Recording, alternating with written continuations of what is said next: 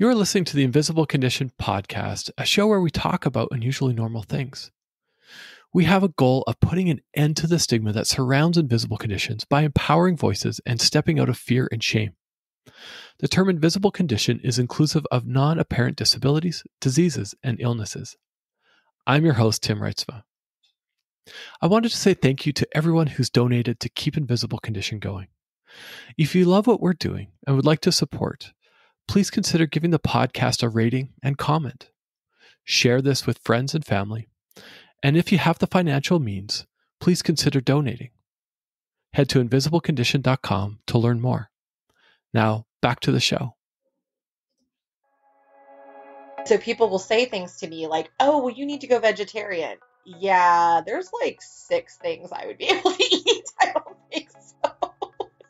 you know, you just you just kind of have to like explain to people like just because something worked for you doesn't mean that it would work for everyone else. You know, that's not how that works. Human bodies are all different. You know, calm down. And I don't mind the discussion, but it's when people start to like push at it and really push. Okay, this episode is a good time. But I gotta warn you, you're gonna hear some background noise. And no, I didn't add this for dramatic effect. We recorded this while there was a severe thunderstorm warning going on in Florida, so you're to hear some of that thunder. Now, I've talked with many people who live with multiple conditions, and my guest today is, well, no stranger to a life full of challenges. Katherine McCord brings a mix of humor and honesty to our conversation. She shares her personal experiences with health challenges and the complexities of navigating life and work with these conditions. I think you're going to gain insights into the resilience required to manage invisible conditions and the importance of understanding and empathy in our everyday interactions. Our conversation is informative, but it's also a testament to the strength found in vulnerability and openness. As I said, we had a blast recording this. See what I did there? Maybe a little bit of a thunder pun. And I think you're going to enjoy this episode. Katherine, uh, we should have hit record about five minutes ago because my belly already hurts from laughing. So yeah. thank you for joining the Invisible Condition podcast. I'm so excited to be here with you, Tim. I've, this is one of the talks I've really been looking forward to.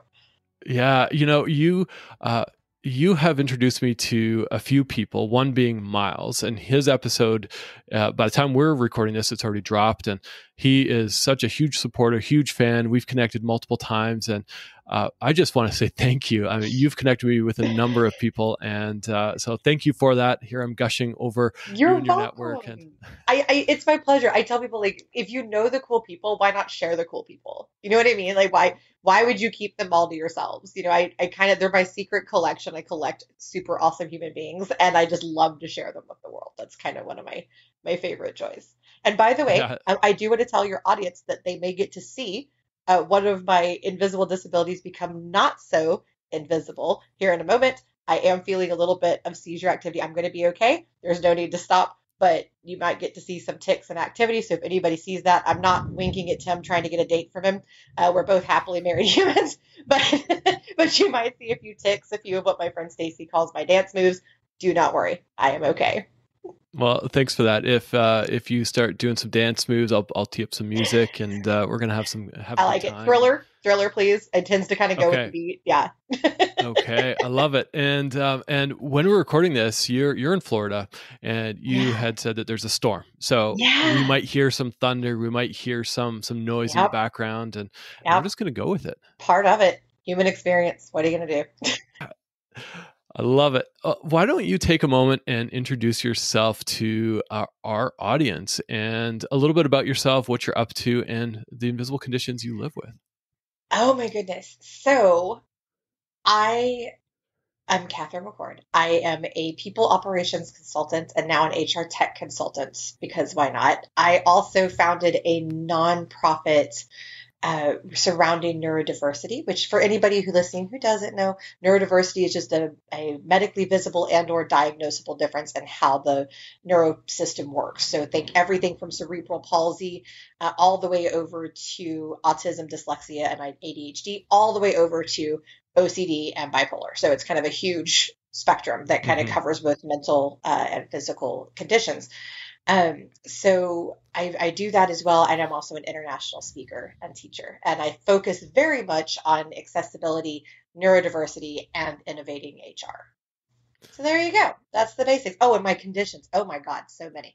Um, so I have I have six current invisible diagnoses um, that are uh, disabilities. So I have, uh, and, and I had more, but I got rid of the problems. So I have currently on the uh, neurodiversity spectrum, I have obsessive compulsive disorder, I have bipolar one, and I have misophonia. Misophonia is basically that there are certain sounds that actually make my neurosystem malfunction. So it's it's the whole thing. It's not just I don't like the sound. I actually will have neuro responses to them. Um, and then on the medical side, I have one kind of all encompassing condition that doesn't have a name, but basically my neurons don't function well. So sometimes my heart puts on a little drum solo and I get seizure activities, which are actually uh, TIAs or mini strokes that have morphed into seizures. So that's super fun.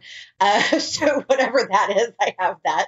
Um, I have a condition called MCAS, mast cell activation syndrome, which is very uh, basically my body creates an anaphylactic response to unnecessary things that I'm not actually allergic to. It just kind of releases too many uh, mast cells, and then I have a reaction, and it's unpleasant.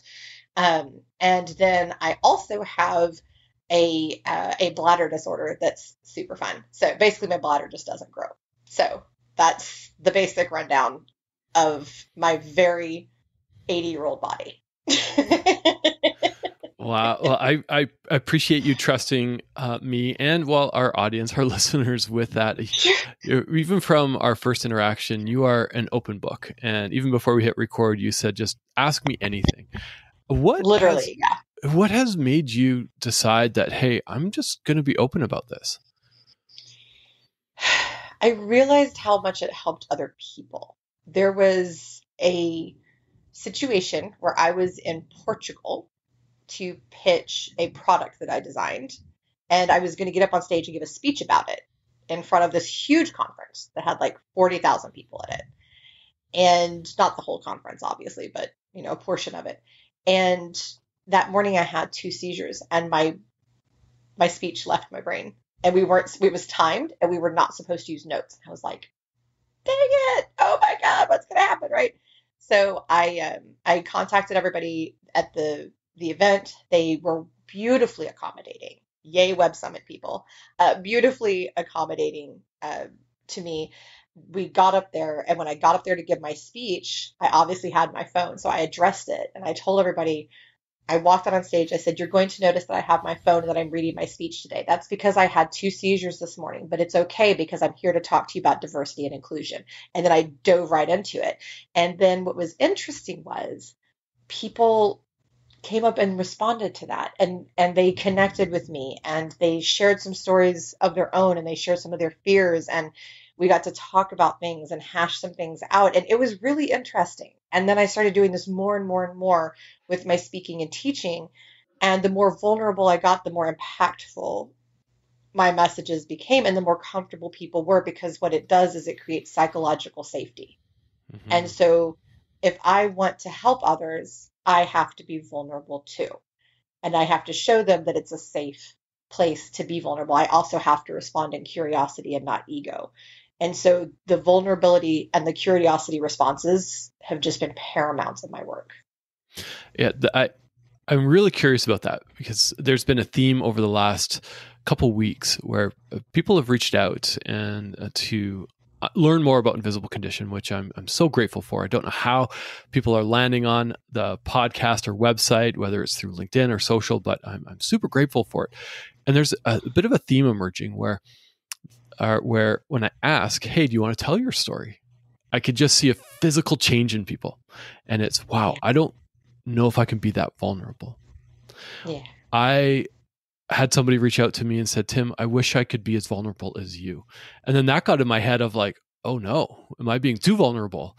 Like, and so am I being weird? yeah. Am I, is there something like, uh oh, should I like, t- you know, tone it down and not share what makes me me? Um, and, and then I decided, no, of course I'm not going to do that. But, but as people use think about their invisible condition and think about, hey, I feel like I want to share. I feel like I uh, there's power in my story, just like your story. What would you say to someone who is is kind of on that fence, you know, dancing that line? Um, you know, first of all, it's going to change your your life, not not just you know one instance or anything like that. It's going to literally change your life. And when you start communicating in a more honest way, because that's really what vulnerability is. It's it's uncensored honesty. And so when you start being that honest, and when you start responding in curiosity, not ego, and when you start being vulnerable, it's going to expand your life in a way that you never thought possible. And it improves your confidence. It ultimately improves your health because you start getting the things that you actually need instead of masking, instead of just dealing with it. You start actually getting what you need. And what you realize is it's really not that difficult to get the things that you need when you are just honest and just put it out there in a confident way and just say, well, this is what I need. No big deal. Here we go. You know, it just, mm-hmm. it just kind of put it out there. Um, there is a lot of uh, justifiable fear because there is so much discrimination. But the more that you practice, the more that you speak honestly and assertively about everything, the easier everything becomes in your world and you make the world better for everybody else. I love that. That's going to be my new one of my new favorites uh, sayings is uncensored honesty because I actually went down the rabbit hole recently of what does Google say about the definition of vulnerability and and it was you know basically um, a reaction to try and protect yourself or there's like the opposite which is hey if i'm being vulnerable i'm going to be i'm afraid of being attacked whether it's physically or right.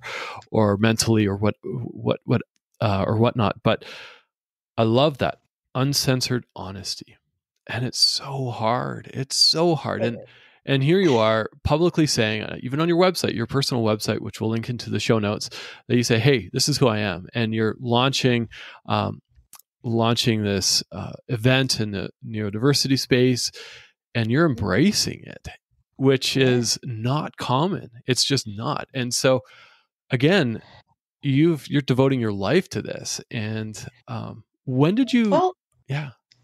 I, I had i had a weird childhood. I've got in, in, in a sad way because my childhood i realized when i got older was unique. You know when you're a kid you think everybody has the same experience you mm-hmm. do. You know, you don't realize.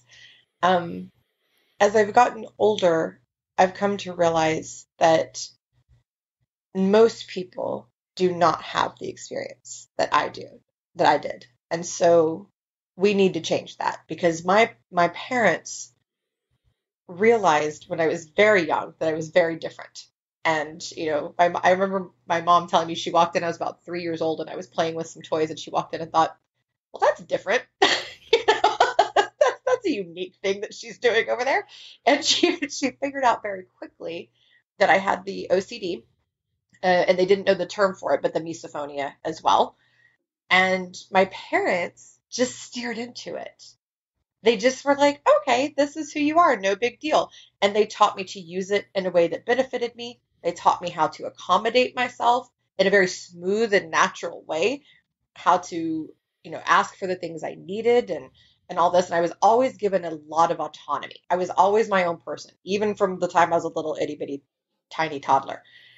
And um, then I got older. I started having all the medical stuff, right? Um, and they started working with me through all of that. And again, how to work with it, not against it, how to work with it. This is what your body's doing. Okay, how do we how do we accomplish your goals with this? I got the bi- I had the bipolar kick in. Um, that was the the hardest one. It was I know it had to have been. In fact, I know because I've asked them.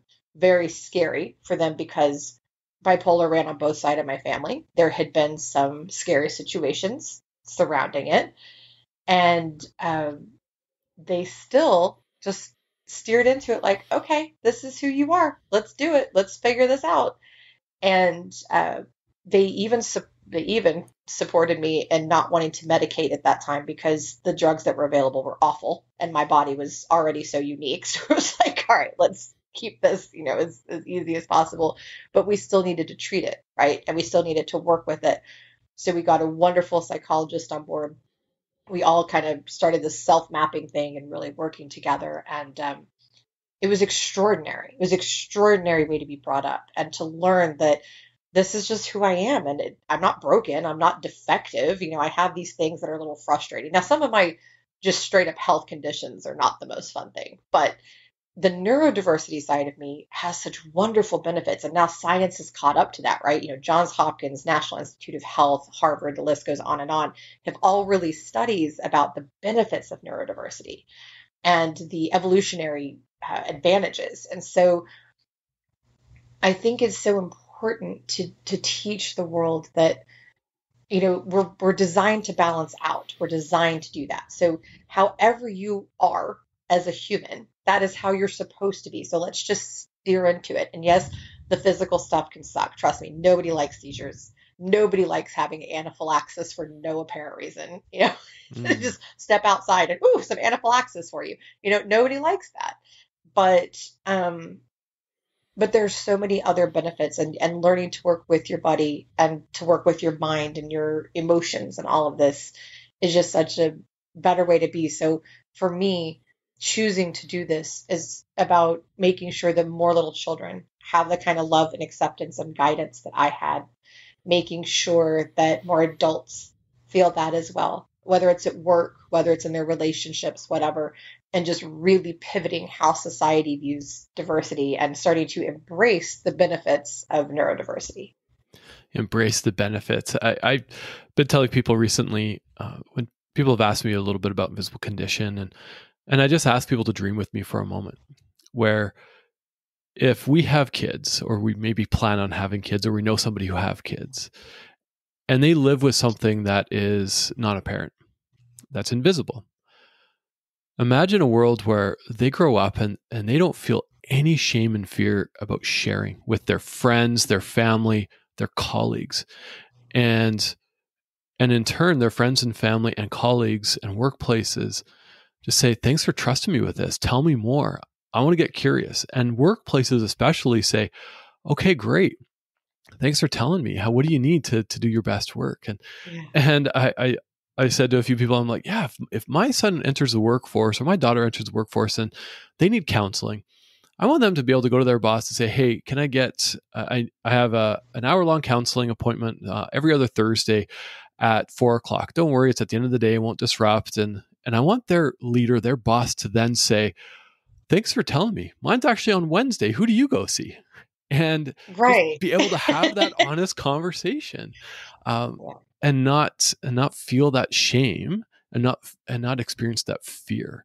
That is yes. and you're setting the you're setting a great example. So thank you for that. Thank you. I thank you. I, I it's it's everything to me. And I, I think having that kind of strength and I and part of this, uh, so one of the things I'm really big in, you know, is making accommodations into standard options. So just get rid of this whole accommodation process. It's idiotic. This is what people need to work in a more effective and healthy manner. 54% of accommodations are free, according to the, the Department of Labor. So why are they not just what we mm-hmm. do? You know, just, hey, what do you need? Just as people are being onboarded, hey, what do you need?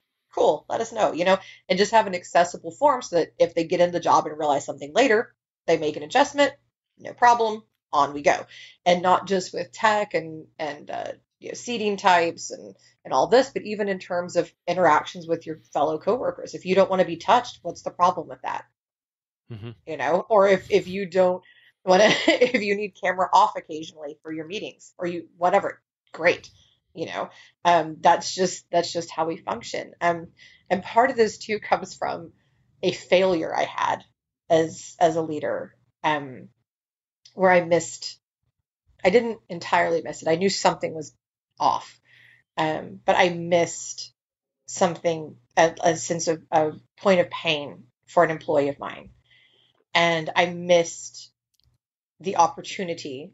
And I had what I thought were my reasons at the time to to not deal with it. I was incorrect, um, and it ended up resulting in us losing that employee. And it was so painful for me because I could have stopped it by being a better leader and by being more curious and by being more open and by being more vulnerable.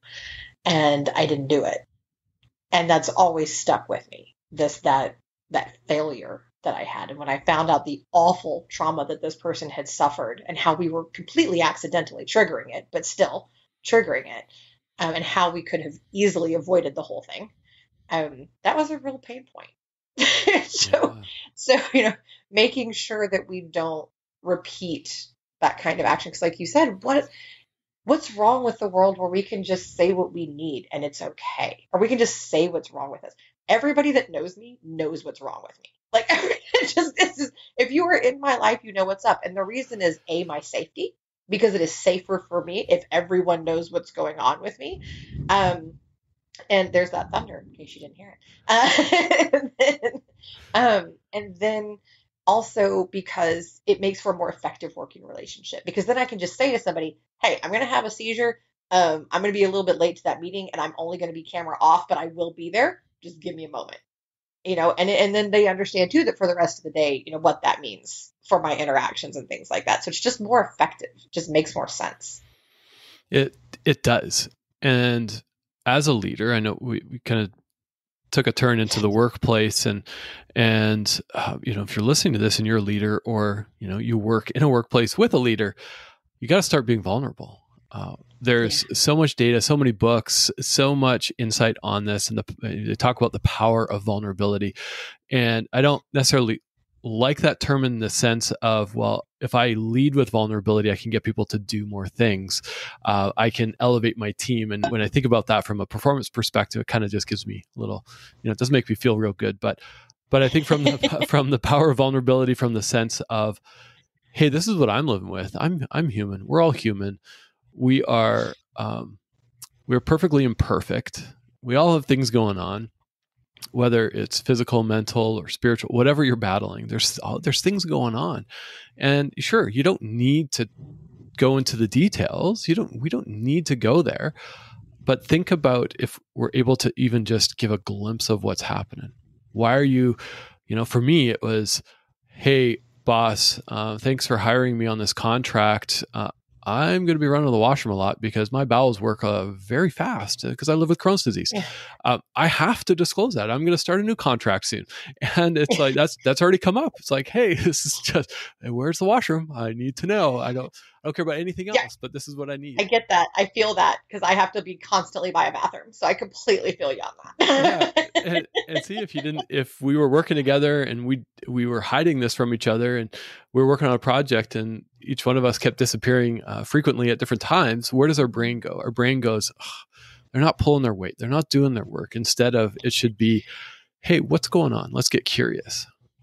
Yeah, exactly. And I love the curiosity aspect. So that actually ties into me what real vulnerability is, which is it's not just sharing, right? Which is important and it's vital to the whole process, right? And it's part of self care, but it's also the most vulnerable thing that you can do is opening up and listening to other people. And the reason that I say that is when you respond in curiosity and you actually focus with the intent to learn from another human, the most amazing thing happens. And in your brain, your neural pathways actually change. Physical, there is physical change in your brain that happens from what you've just learned from this other human. And what could ever be more intimate and more uh, more incredible than having let allowing somebody else to come in and change your own neural pathways. I can't think of anything more intimate and vulnerable than that, right? And just leaving yourself open to that. But it's incredible. And you start to really learn and grow and you start to think completely differently and you start to interact completely differently and to express your needs completely differently. So, yeah, that vulnerability uh, on both sides, accepting it from other people, listening to other people, learning from them, understanding them, that's vital and then also communicating your own needs. And also just like you said to the practical element. I mean i've got to pee constantly. Why you know why hide that from people? Like a lot of people go do you want to go to a movie? I'm like okay look i like going to a movie but you need to understand something that's going to happen. I am going to factually get up a minimum of two times and that's if i've dehydrated myself before we go So for those who are listening, if we put in some interlude music, we know, uh, you know, it's like we'll just leave it there. We're not going to edit it out. It's like Katherine's just got to go, and we're going to embrace it. And uh, yeah, it's just going to happen. I, I'm I'm having a good day though today, so I think we, we might actually make it all the way through the recording. Um, but it is it's funny, and then the other thing too is sometimes you have to, with your invisible disability, um, you know, there's also the trauma aspects that can happen. So one of the disabilities I I alluded to it at the beginning that I, I got rid of some of the problems. Um, part of this I had a hysterectomy a few years ago, and so uh, that was its whole whole other process in and of itself. Before that, I had uh, six miscarriages, and um, you know, having to explain that to people at work, and having to explain that to other people because people always want to know why don't you have kids? Why are you going through this? You know, it's just there people are so nosy. So first of all, don't be nosy with people, please. Curious, yes, nosy, no. There is a difference. um, know your boundaries. Um, it's and accept when people put up a boundary too. You know, that's another thing. But but the trauma, you know, people people don't think sometimes about the trauma that can come with disability. And there are other that's just, you know, one one example, but it's it's a lot. So somebody may not want to talk about all the details. They may just need to tell you, I have a disability associated with this, and sometimes I'm going to have certain needs. The end. And then we just let that sit and we accept what they've told us. Because sometimes they don't want to have to explain all the rest of that nonsense to you. you know? Uh, yes. It's just knowing when to just close your mouth just just you keep yes. your brain going but shut this shut shut your mouth a, a little bit and and yeah. we may want to get and then we ask ourselves and I, I blogged about this um, a few times which is you know are we authentically curious like is it curiosity yeah. coming from a place of i really want to know more um, because by knowing more as you said it's it's a layer of vulnerability. Uh, do we really want to know more to educate ourselves in order to support um, maybe the person we're talking to or using the newfound knowledge to support others? Or is it self-serving curiosity? Ooh i'm nosy now. I want to yes. I want to use this and and maybe serve myself. I want to use this against someone. I want to mm-hmm. uh, i just want to know for the sake of knowing and i don't care what else but i just want and that's where i have the problem with it. I never mind actual curiosity ever. But it's the nosiness you know and the well why didn't because this is this is an actual conversation that i have had so many times i can't even count. Well why don't you have kids? My body didn't want to cooperate. What does that mean? I explain it. Well did you ever really try? Yes we had several miscarriages. Did you ever try ivf oh my god back off like, what the heck? This is good. And, and what they're trying to get to is because then this is how it always ends, inevitably. Well, you really should try again because everyone needs children. You need children. You won't be fulfilled in your life without children. That's where it always ends, every single time. And my response to that is actually, no, I'm extremely happy. Thank you very much. I have multiple people in my family that don't have kids. They're all very happy. I'm very fulfilled in my life. I'm happy that you're fulfilled with children. I am happy and fulfilled without them. Thank you. And then we just kind of go on. But it was, it's that kind of like jabby, you know, and I know other people that, that get the same kind of thing with other, with other invisible disabilities as well. The other one is the questioning of it. Do you really have a thing? Like, are you really sick? You don't look sick. You know, that's always one favorite, favorite things. I'm like, thanks. I guess that means I look okay but it's still real. like yeah. I don't know why you're saying that. I never know how to take that. Like, are they just trying to be nice, or are they trying to like insinuate that it's not real? Yeah, I, have heard that so many times. Like, well, you don't look sick. Are you? The, my favorite was, "Are you sure you need surgery?" And this was a week before I needed surgery. It's like, well, yeah, actually, I'm I've actually gone a whole week without massive internal blood loss, so I'm good. I'm good for surgery. And are you sure? hey, maybe you should just try this diet. Somebody recommended once, oh, you know, my yeah. intestine was almost closed off, and you get all these Facebook and Instagram social media messages. Hey, you should try this all vegetable diet. It's like, well, that would actually kill me. Oh, you should go yeah. full uh, full meat diet. Go full carnivore. I'm like, well, actually, my body can't digest that, so I would die. Yeah. But thank you. Yeah. Thanks for trying to kill but thank me. you. Thank you so much. Yeah. Thanks for your thanks for the death wish. Yeah. I just I I've had the same thing with the MCAS. My diet is so bizarre. It's the the weirdest little holes that of things that I cannot have and the things that I can. Like it's so weird. So I can eat um pecans and coconuts and of all things walnuts, but not the rest of the and, and with occasional peanuts, but I have to be careful with that. But like not cashews, not almonds, not any of that. Um, fruits, like half of them are a no go for me. Um, it's really bizarre. And so there's just all these little things. And so people will say things to me like, oh, well, you need to go vegetarian. Yeah, there's like six things I would be able to eat. I don't think so. you know, you just you just kind of have to like explain to people like just because something worked for you doesn't mean that it would work for everyone else. You know, that's not how that works. Human bodies are all different. You know, calm down. And I don't mind the discussion, but it's when people start to like push at it and really push. And um, and it is funny because I've had the people to get aggressive with me about things, you know, and they really try to uh, to push their way. And so I always like my my own little Katherine way of dealing with it is I'll look at them and say, okay, if you want to go down this path, I will go down it with you. But please understand that I've done all my education and I have all of my reasons and I have all of my research. And so if you're not ready to match that with something equally as on point, you might want to stop the conversation here. and like nine times out of ten, that shuts them down. but, but every once in a while, we have someone that still wants to keep going with it. But it also sends the message of you're hitting a nerve. You know what I mean? It's it's that like, all right, all right, stop, stop, stop, stop. Um, but yeah, it's it is it's interesting and and I have friends with visible disabilities. We've talked about the differences and and all that. It's everybody's got their unique challenges, right? Mm-hmm. Like it's just this whole and then when your invisible ones become visible is super annoying.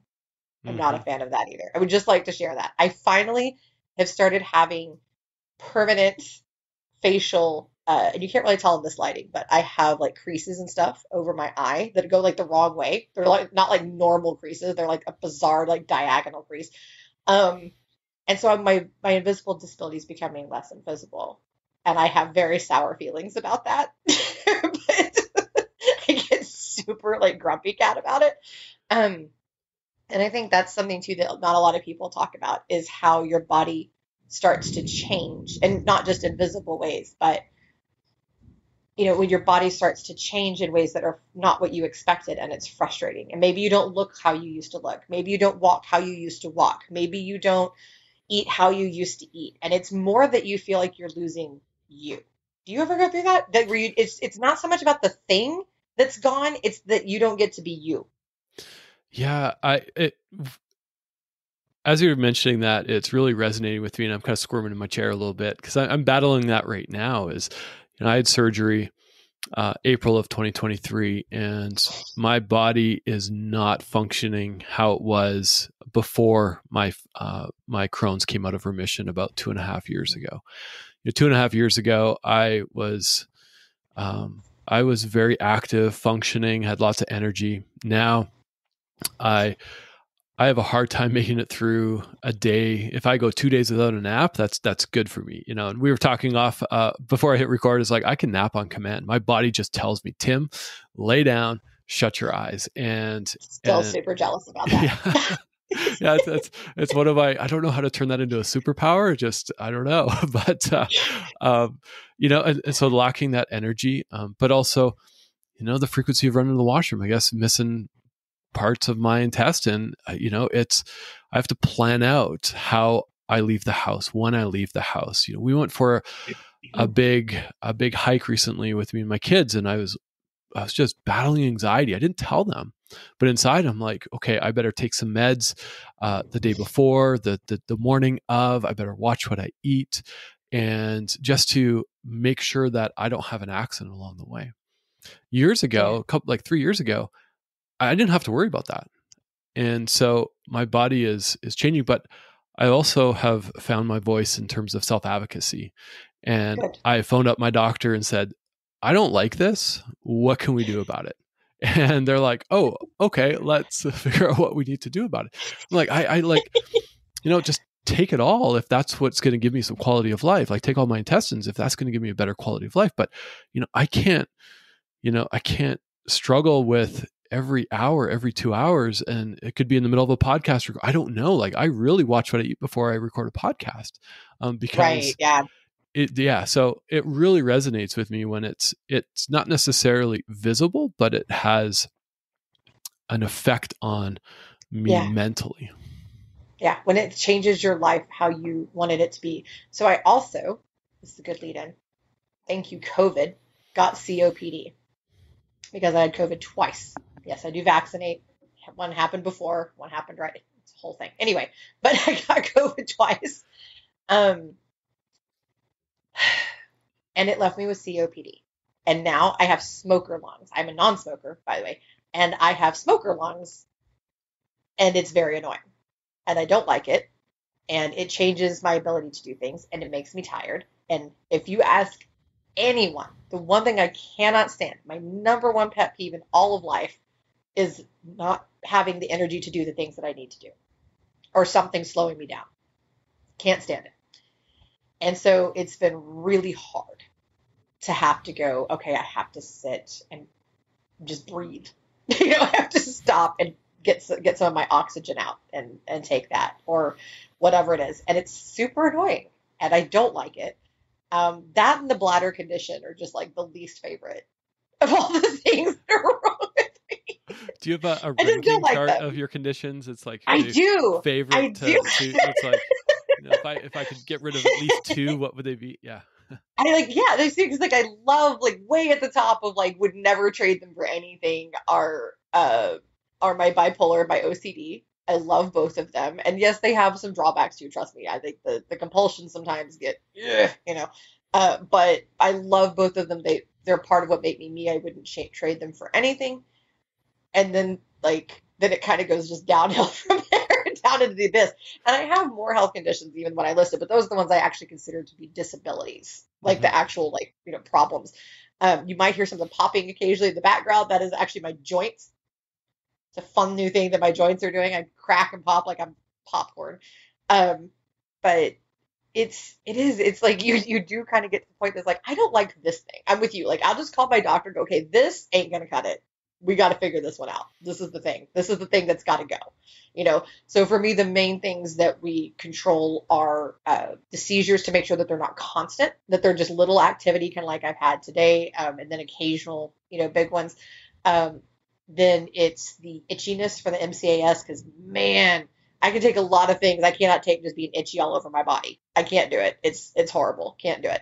Um, so that's the one that we control there. And then with the COPD, being able to breathe because you, know, you kind of all need to breathe. You know, it's kind of a thing with the human existence. Just something we, we have thing. to do. It's something most of us have in common. I would say, I guess yeah. all of us have in common. All of us. Yeah, we got to, you know, I keep trying to photosynthesize and it's not working like at all. no experiment therein has worked. Um, but I do like my respiratory therapy. I have my inhalers. That's the, that's the main one that I medicate for. Uh, that and the MCAS, like you just have to. It just there's just no. I'm not a huge like medication person, but you just have to, right? Um, or you're just gonna be in misery. Uh, but yeah, it, it is funny you brought up like least favorites because yes, I definitely have least favorites that I just I'm like no, no, thank you to this. If I could fire this, I would. Like this would just be yeah. gone with you. it's uh, somebody I was talking to recently. It's like I don't live with it; it lives with me, and I would evict it at any point in time. It's just a stubborn roommate. It's a stubborn, you know, person it who's something that's taken up residence, and it's like, you know, if I can write that eviction notice two weeks, I just want you out of my body. You're, you're gone. Yeah, just don't care for this very much. No, thank you. Goodbye. That's exactly it. Yeah. Yeah. And you know the other thing too, and I want to get your opinion on this. I've I've been talking to people recently about this. Is like the perspective that cr- people with chronic conditions, especially um, they that fall into like the disability field, um, our perspective on the medical like system is so different from everybody else because it's just like you're just perpetually having to deal with this nonsense just like over and over and over and over. And I don't want to get into like politics, but I'm just curious, like what your experience is like in terms of like your mental like does does it exhaust you to think of like oh my god i've got to go through another diagnosis or oh my god i've got to go through this whole other process? Is that something that's exhausting exciting? What is your response to that? I would say years ago before i found my specialist uh, yeah it's exhausting. It's daunting. Um, I live in uh, Vancouver, British Columbia, Canada. So our healthcare system is very different than in the US. And um, I've found through, uh, from I guess my family doctor years ago, found this uh, center here in Vancouver. It's now called the IBD Center of BC. And so I have access through that um, gastroenterologist, through my doctor, I have access to his nurse, I have access to a dietitian, I have access to counseling, and I'm utilizing it all. I just have to phone up to, uh, phone their their number their their front desk and talk to the receptionist and say hey i need to see um, the dietitian and within a day that. i'm talking to the dietitian um, we also have a, a, great family doctor. And so I'm a little biased in this because we have a family doctor, but I also know up here, and I, th- I don't know what it is like in the US, but here in Canada, it's extremely hard to find a family doctor. It's so hard to find someone who can give you that uh, continuous care. Like I've gone to walk-in clinics, and it's like I had a hearing problem.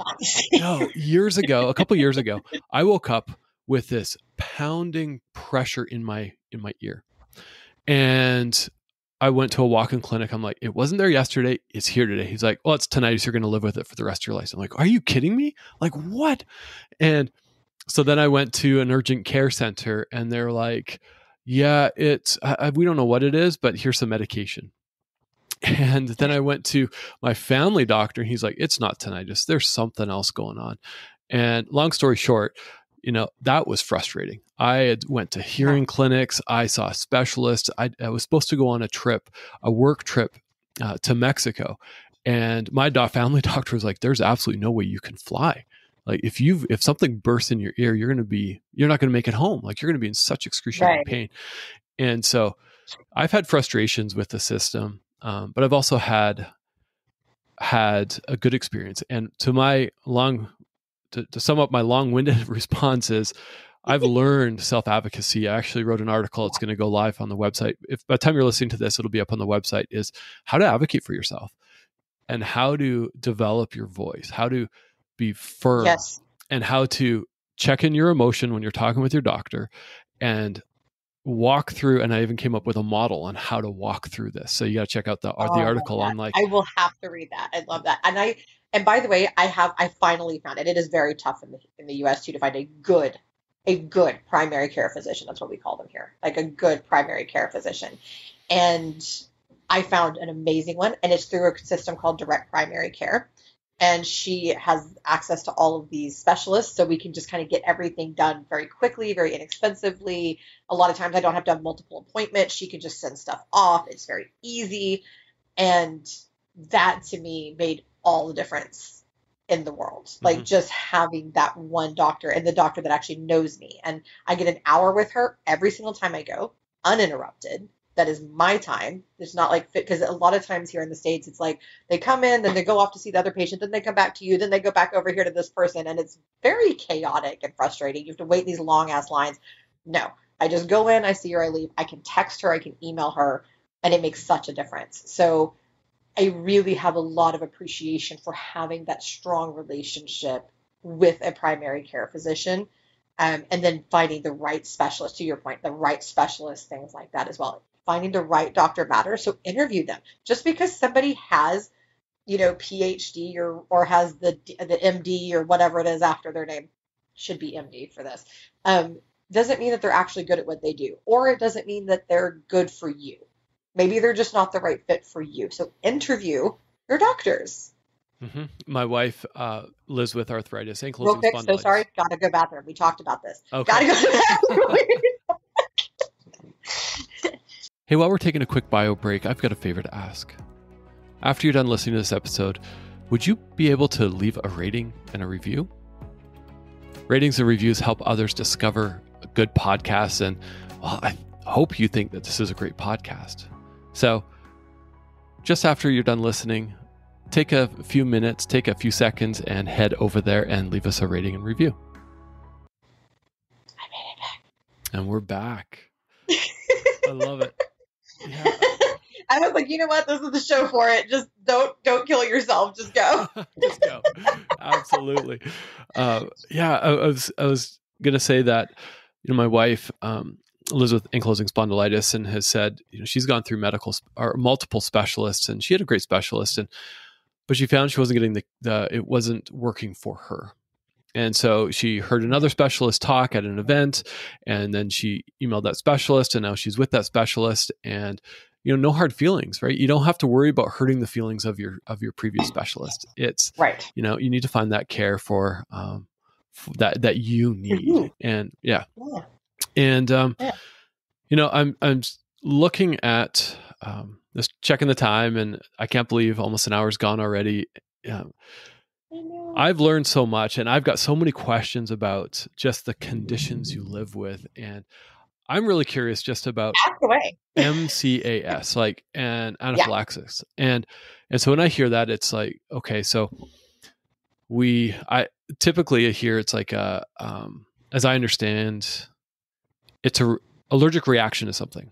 So do you know, like, if you eat something today and it's fine, and then you eat the same thing tomorrow, would you have a reaction to it? Like, how do you how do you?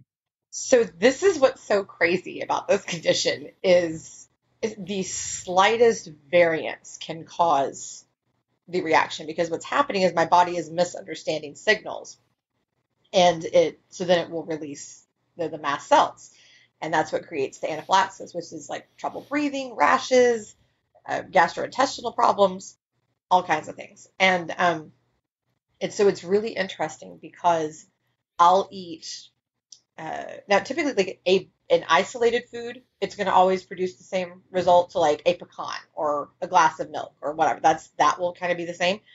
But if it's let's say a cherry pie, this cherry pie might be okay. This cherry pie may make me sick. you know what I mean? So it's just you have to be so specific. It's like this pizza is fine, this pizza is not. And that actually is a thing for me, by the way. There are pizzas that set me off, and there are pizzas that don't. It's completely bizarre. Um, and I'm sure that there's some little ingredient in there, you know, but I don't want to call each place and be like, what do you put in your pizza so that I can chart my health? You know, I think that's that that seems obnoxious to them. Um, so it's it's really unusual. But the other thing that's frustrating is I can go to hug somebody and they can have been walking out somewhere, picked up some allergen just somewhere on their skin or clothes. I hug them and then I have a response. And so it's just completely frustrating. Oh, and cigarette smoke, if you smoke outside, come back in. You cannot be anywhere near me or sit on anything that I am going to sit on because it will be horrible. So I tell people, I'm like, okay, you can have an outside smoking shirt and then you take it off and then you put back on your, and then as soon as you come to the door, you can put on your inside shirt and then that's the process. and it's, and it's so funny. And people are so sweet. You know, people in my life are so sweet about it. Um, and if it's like a client or something like that and we're walking along and they want to smoke, I say, okay, I'm going to walk X number of feet away from you. Don't take offense. You know, I'm just going to be over here. And we just kind of go on about it. Um, alcohol is an interesting one um, I cannot drink at all anymore.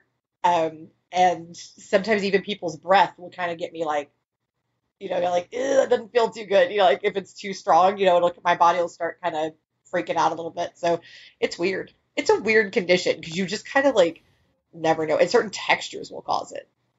It's very weird. It's invisible until it's not, and then it shows up. Yeah. And, wow. and super I, I'm curious. Like, do you carry around an EpiPen? Like, is it goes? Yes, and okay. my husband is way too excited about getting to stab me with it. Like he is just waiting for the day. in fact, it was just really hilarious because we let my mom know that we'd gotten it, that we actually got it in. And she goes, No, I want to be the first one to stab her. I had to raise her. I want to stab her. I'm like, What? Why is everyone wanting to stab me? Wait, hold on. like, pause. None of you get to do it. None of you are allowed. but yes, I do carry an EpiPen. I have to carry special inhalers also for that, not just the COPD. Um, and I take this weird liquid called Cromolyn, and it's it comes in these little things, and I squeeze it into water and down it right before I eat. and that helps to coat my stomach and of, that's where your mast cells are is in your is in your tummy and so that helps to kind of soothe that and quiet them down and be like no thank you you are not needed but yeah it's kind of weird that's a Wow. Okay. I learned something new. I'm sure our listeners yeah. learned something new. If somebody's like, and it's hey. different for everybody, by the way. Like I've talked to other people with it, and the stuff that sets them off is completely different. Yeah, it's you can't prescribe a diet uh, for for you, and uh, so it's like, hey, Katherine, uh, have you tried just eating, you know, all uh, pecans, nuts, and just drink milk? Uh, maybe just stick with that, and and uh, I'm sure you'll be fine. And milk is not good either; it's terrible. I have to drink oat milk now. Like, yeah. what even is that? How do you milk an oat? Yeah. That's what I want to know. Yeah. like, how do you do that? I'll go ask but my no, kids like, after. I'll let you know. yeah. yeah, right. Just go ask them. Um, but it's so um, it's so bizarre, and so I do. I have certain things I do avoid. Just cannot touch. Um, and then other things like you know citrus is really hard for me um, like i said certain nuts you know etc but it's spicy foods can be very bad, very bad, very quickly. Um, but yeah, it's it's the most bizarre condition. It is. Wow. Okay. I've learned something. I'm going to go do some research. Whatever I found, I'll put the links in the show notes as well. And you know, as I look to wrap up here, uh, a couple things. First, I want to thank you for sharing so openly, for vulnerably, sure. for sharing some laughs. Um, uh, you know, for sharing the very personal story of, of miscarriage. I know that is a very personal one, and uh, for for people who are wanting to embrace their story, to tell their story about living with an invisible condition. Um, in order to, uh, because I believe that when we share our story, we will end the stigma. We will start to end the stigma. And I've already seen it happen we released a, an episode on OCD, and I had someone reach out to the guest who's now connected me with just a powerful story. And now they're saying, I, I want to tell my story. It's time. When you hear that, how are we going to end the stigma? How are we going to continue to um, to end the stigma that surrounds invisible conditions? A lot of conversation and changing from making accommodations things that we have to quote deal with after the fact and changing it to everything, everything from policies and procedures to the physical design of different things to just the way that we function as a society, changing to a universal design. That's it. Just this is how it's, and it's got to be flexible because, like we said earlier, we're all unique.